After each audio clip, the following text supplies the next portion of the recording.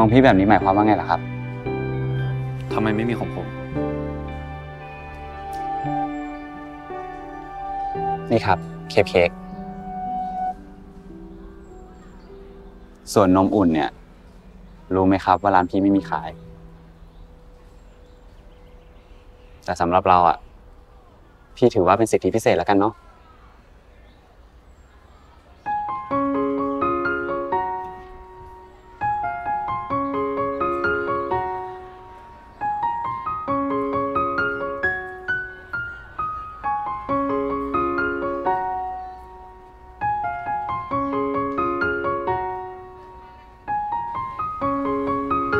ตั้งใจซ้อมนะครับ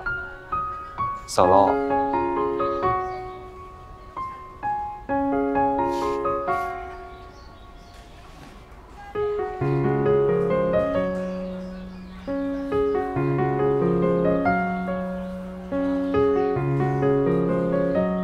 ยังไงเนี่ยมึง จะนั่งมองเค้กจนเลิกซ้อมเลยไหมไม่กินกันวันนี้ อย่าหวังว่าจะได้แตะ หมายถึงเค้ก